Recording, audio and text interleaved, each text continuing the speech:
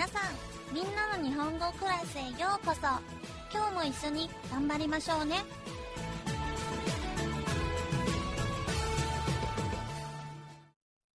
皆さん、こんにちは。今日は先生と一緒に第6課の会話の部分を勉強しましょう。今天呢，和老师一起来学习第六课的绘画部分吧。上一节课啊，我们学习了很多动词。那么，我先来提几个问题，每个问题后面呢，停留几秒钟的时间给大家回答一下。一、タバコを吸いますか？二、今日の朝ごはんは何を食べましたか？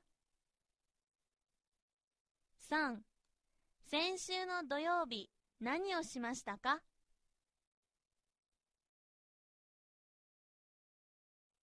好，大家的答案是什么呢？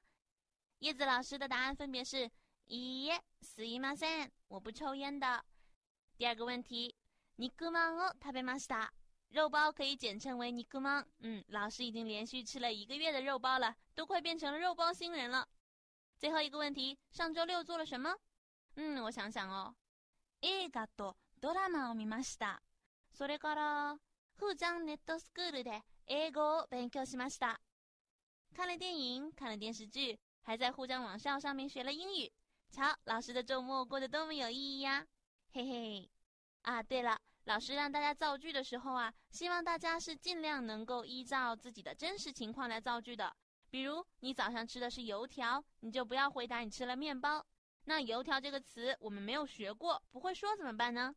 没有关系，如果是造句的时候碰到没有学过的单词啊，你就按照中文的说法说过去就可以了。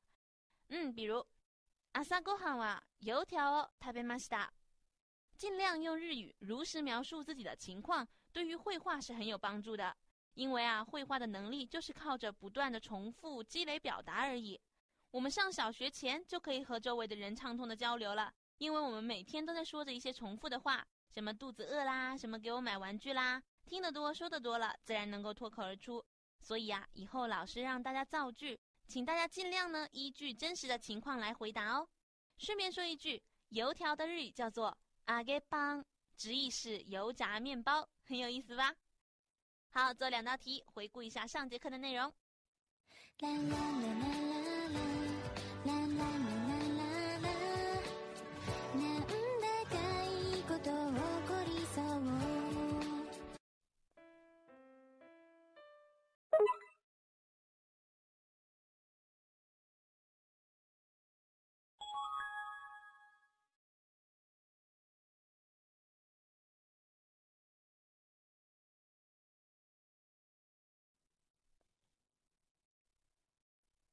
よし、授業を始めましょう。那我们开始上课吧。首先是常用表达的学习。第一句，いいですね。いいですね。いいですね。注意句尾的ね是降调。这句话的意思是好啊，不错啊，可以是指某样东西好，比如この店いいですね。 这家店挺不错的啊，也可以用在接受别人邀请的时候，比如别人问“一緒にご飯食べませんか”，要不要一起吃饭呢？如果你要同意的话，你就可以说“いいですね”，好啊。好，下一个句子，わかりました。わかりました。わかりました。 我知道了，我明白了，我了解了。老师在讲完知识点的时候，经常会问大家：“皆さん、わかりましたか？”大家明白了吗？如果大家明白了，就应该回答：“はい、わかりました。”那如果不明白呢？可以说：“いいえ、わかりません。”如果大家遇上不明白的问题呢，可以把相关的讲解部分重新再听一遍，或者呢是到答疑区向班班助助提问哦。わかりましたか ？OK，下一句，なんですか？なんですか？なんですか？什么是的意思？以前我们学过，これはなんですか？意思是这是什么？那如果只有一个光溜溜的なんですか？意思就不太一样了，是询问别人 有什么事吗？说的时候啊，可得注意一下语气。如果是说成 “non d i s c a 你看，明显就是不满、不耐烦，干什么呀你？这种感觉了。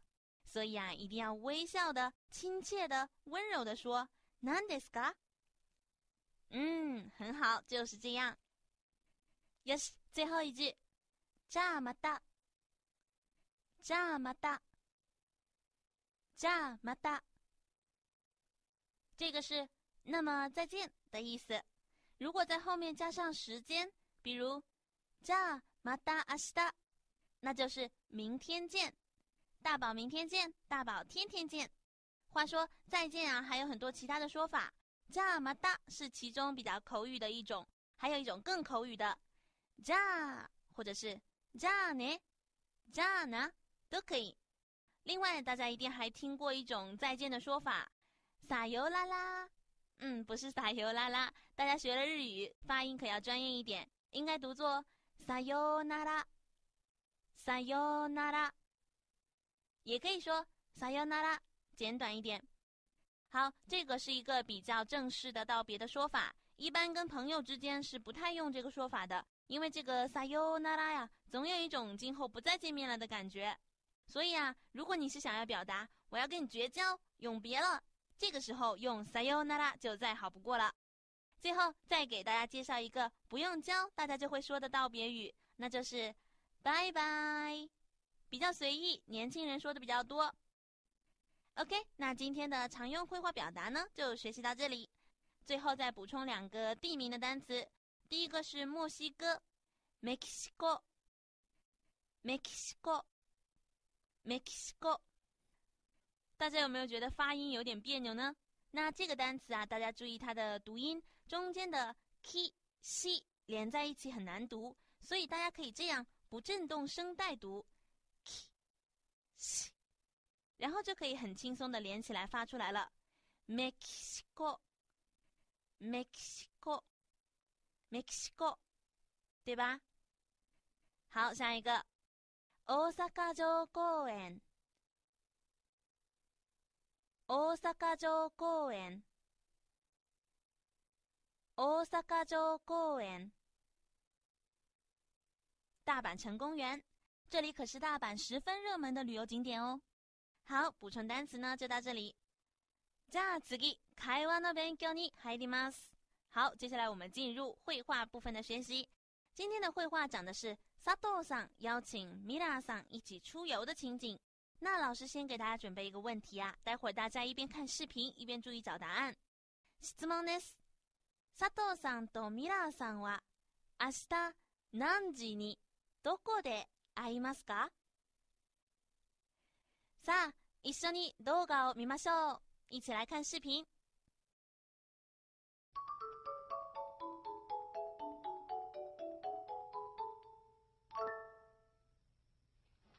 ミラーさん。何ですか？明日、友達とお花見をします。ミラーさんも一緒に行きませんか？いいですね。どこへ行きますか？大阪城公園です。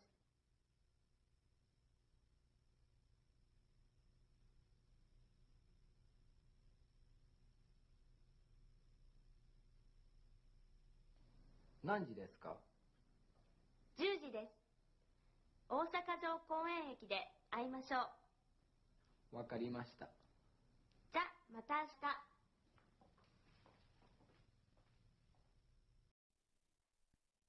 好的，大家找到答案了吗？佐藤さんとミラーさんは明日何時にどこで会いますか？答えは10時に大阪城公園駅で会います。你答对了吗？好，我们一起来看一下他们的对话。首先，佐藤桑在公司呢碰到了米拉桑，于是喊他米拉桑。米拉桑回道：“何ですか？怎么了？什么事？”建议大家在实际使用的时候啊，可以说的再自然一点，比如啊，佐藤桑，何ですか？啊，是佐藤小姐啊，有什么事吗？这样说的话，给人的感觉呢会更加温和一些。好，佐藤桑开始邀请了，他说：“明日。”友達とお花見をします。ミラーさんも一緒に行きませんか 友達とお花見をします。和某人做什么什么，这个と记得呢是加在名词的后面哦。お花見をします，固定词组，意思是赏花。皆さんも这个も啊是也的意思。一緒に一起行きませんか？动词的ます形的ます去掉，然后加上ませんか，表示委婉的邀请，连起来。明天我要和朋友去赏花，你要不要也一起去呢？ 嗯，大家记住这个邀请的表达方式，可以先说我要去做什么什么，然后说你要不要也一起呢？一緒に什么什么ませんか？那看看米拉桑是怎么回答的。いいですね。どこへ行きますか？いいですね。好啊，表示赞同。どこへ行きますか？去哪儿呢？大阪城公園です。大阪城公园。米拉桑继续问道：“ 何時ですか？几点啊？”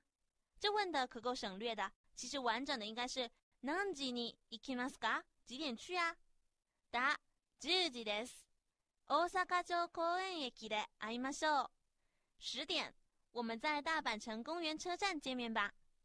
好，我们看这句大阪城公園駅で会いましょう。我想问问大家。大阪城公園駅后面的这个で是什么用法？ 嗯，表示动作发生的场所，对吧？见面，会います。这个动作呢会发生在大阪城公园车站，所以呢这里要用で。会いましょう，见面吧。动词ます形的ます去掉，加ましょう表示积极的提议、邀请，一般翻译为什么什么吧。米拉桑回应道：わかりました。我知道了，我明白了。最后，萨多桑挥手道别， じゃまた明日。那么明天见。じゃまた表示再见，また后面加上时间，表示某某时间再见。用的最多的就是这句また明日，明天见。再比如还可以また来週，下周再见。また来年，明年再见。また今度，下回再见。再来一句老师会常常使用的课堂用语。じゃあまた次の授業で会いましょう。那么咱们在下回的课堂上再见吧。 大家记住这句话了吗？好，有的同学可能会想啊，我今天学了如何答应别人的邀约，那如果想要拒绝的话，要怎么说呢？不要着急，不要着急，拒绝邀约的绘画我们会在第九课学到。那在第九课之前，只能勉强一下大家，有邀约的话就都答应着吧。哼哼。OK，我们今天的绘画部分就讲解到这里喽。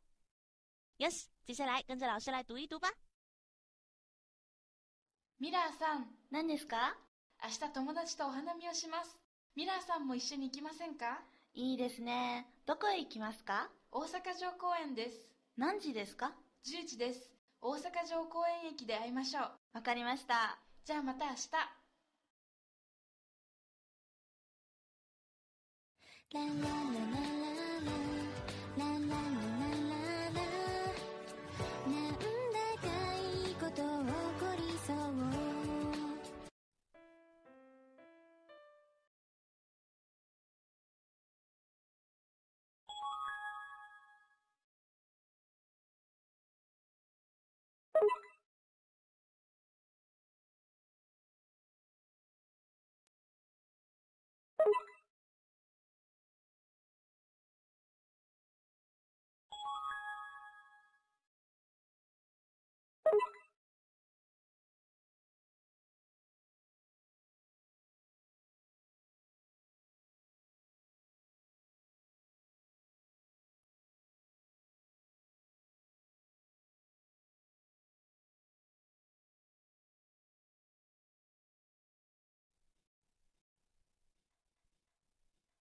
本课的拓展部分，我们来学习一下“食べ物”食物、食品的说法，主要介绍一些常见的野菜蔬菜、果物水果、肉肉，还有サカナ鱼的说法。读着读着，我都要流口水了，还是让 Yuka 先生来带大家读一读吧。食べ物、野菜、きゅうり、トマト、ナス、豆。 キャベツ、ネギ、白菜、ほうれん草、レタス、じゃがいも、大根、玉ねぎ、人参、果物、いちご、桃、スイカ、ぶどう、梨、柿、みかん、りんご、バナナ、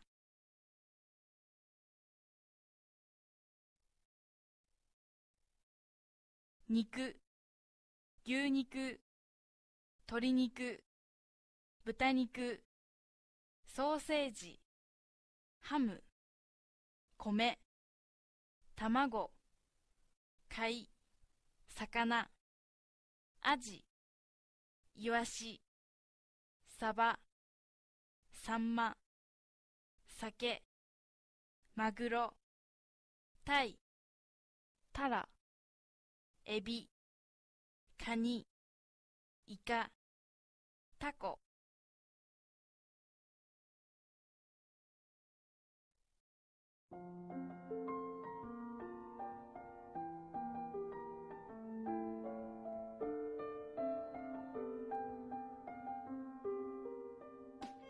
ゆか先生，こんにちは。こんにちは。嗯，刚刚我看ゆか先生教了大家很多蔬菜啦、水果啦，还有鱼的说法。其他倒还好啦，这个鱼的说法真是太多太复杂了，我到现在都没有认清楚呢。是啊，因为日本是岛国，所以大家都比较喜欢吃鱼。啊，说到这个，不如我们今天就聊一聊日本人的饮食吧。在我的印象里，日本人对吃好像特别有讲究，电视里好多关于料理的节目， 而且日本人的饮食风格也很杂，像是意大利料理、中华料理等等，好像在日本也很普遍，是吗？嗯，哎，そうです。日本人在家里也会做意大利面、咖喱饭等等。そうですか。现在中国也有很多年轻人会做这些外国的料理了，不过我妈妈那一辈的话就只会做中国菜了。 话说回来，Yuka 先生觉得日本本土最具有代表性的美食是什么呢？嗯，多分刺身、そしてお寿司とか。啊，刺身生鱼片，还有お寿司寿司是吗？そうですね。じゃあ日本人は毎日刺身とお寿司を食べますか？いいえ、毎日じゃありません。一般不会每天都吃，想吃的时候去寿司店，因为做寿司是很难的， 一般人在家里做不出好吃的寿司。なるほど。那除了お寿司、刺身，日本人平常还爱吃什么呢？日本人平常吃的比较多的有肉じゃが、カレーライス、ラーメン、うどん、天ぷら、味噌汁、焼き魚、コロッケ。哇，我吃货的血液沸腾了。那 Yuka 先生平常最喜欢吃什么呢？嗯，肉じゃがです。とっても美味しいです。啊，美味しいですね。那顺便问一句，Yuka 先生在上海待了这么久，你最喜欢吃的中华料理是什么？麻辣烫、鱼香茄子、寿司包菜等等。在日本吃不到这些吗？我在日本吃过鱼香肉丝、青椒肉丝、粽子等等，寿司包菜什么的还从来没有见过。so this 噶，那趁着在上海的时候要多吃一点哦。好，那我再问最后一个问题吧。日本的餐桌礼仪和中国有什么不同吗？我觉得好像差不多，比如吃东西不能发出很大的声音等等。啊，对了，吃拉面的时候是个例外，要尽量发出吸面的声音，这是表示食物很好吃的意思。啊，我告诉ました。那下次去拉面馆吃面，我可得用力吸了。好，那今天的聊天呢就到这里吧。大家对日本料理有什么看法？可以到课后交流区聊一聊哦。はい、では皆さんまた次回お会いしましょう。拜拜。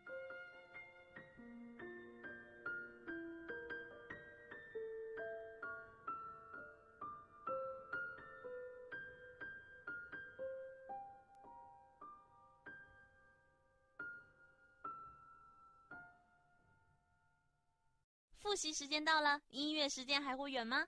Yes，让我们打起精神，好好把本课的内容复习巩固一下哦。首先，跟着老师一起来读单词。一緒に単語を読みましょう。食べます。飲みます。吸います。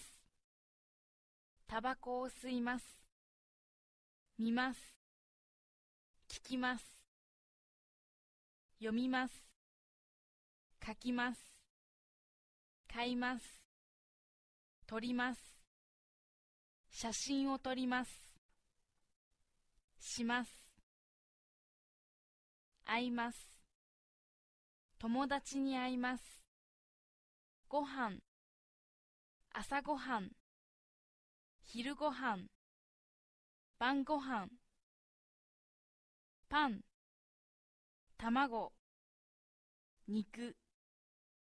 魚。野菜。果物。水。お茶。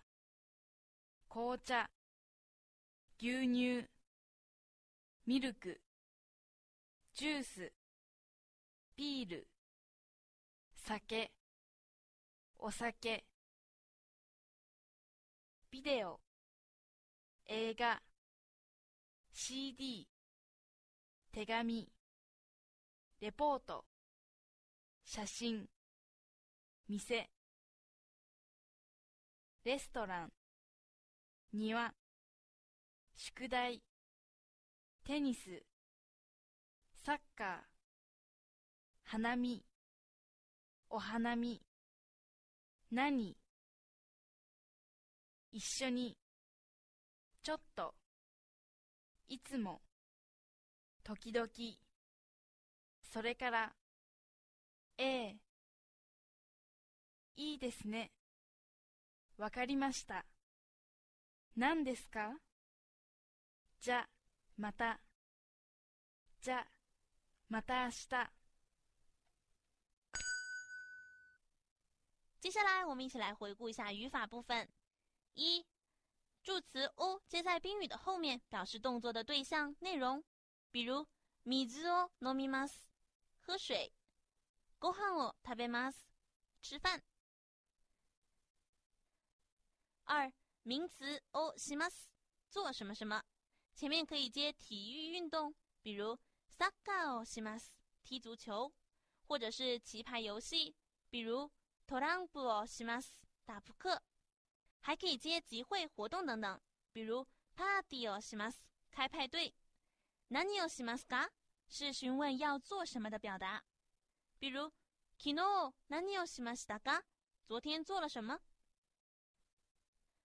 三，何和何的异同，它们的相同点在于汉字写法相同，意思相同。不同点在于不同的接续情况下，发音会产生不同。其中，none 用于以下两种场合：第一种，后续单词的词头是它、的、那行时； 第二种，询问带量词的数量时。其他情况均读作 nani。四，场所名词后接助词 de，再接动词 de，表示动作发生的场所，比如部屋で宿題をします。在房间里写作业。五，动词 mas 型的 mas 去掉，加 masenga，表示比较有礼貌的邀请。比如，我们一起学日语怎么样？ 一緒に日本語を勉強しませんか？六，动词 mas 型的 mas 去掉，加 masho，表示积极的邀请和提议，也可以用于积极的响应別人的邀請和提議。比 masenga 語氣強硬，一般翻譯為什麼什麼吧。比如一起到沪江網校學日語吧。一緒に沪江ネットスクールで日本語を勉強しましょう。七、接头词 o 的两种用法：一、接在和对方有关的名词前，表示对对方的尊敬，比如お電話，你的电话。二、作为美化语，接在一些特定的名词前面。比如お酒酒。顺便说一句，习惯性加接头词 o 的名词呢，其实并不太多。我們以後學到一個記一個就可以了，所以大家不必糾結於不懂得如何判斷所看到的單詞是屬於 o 的哪一種用法。以後學着學着，自然就了然於心了。好，那今天的複習就到這裡吧。今日の復習はここまで。皆さん、ちょっと休みましょう。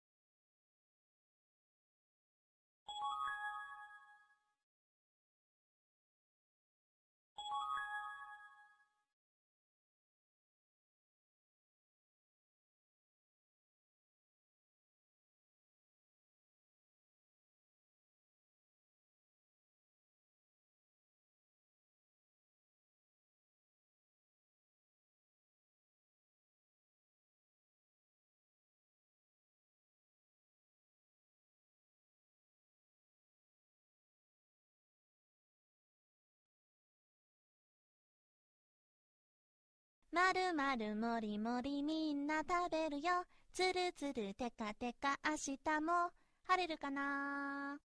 嘿嘿，大家有没有听过这首卖萌的歌呢？这是由两位日本的小童星芦田爱菜、阿西达玛娜和铃木福 （Suzuki Fuku） 为他们主演的电视剧《マルモノキテ》所演唱的主题曲。超萌的哟，很萌很萌哦！如果大家觉得还不够萌的话， 课后可以去找一下舞蹈版本的视频，相信配合着小朋友们可爱的舞姿，一定能把你瞬间治愈的。さあ、一緒に聞きましょう。まるまる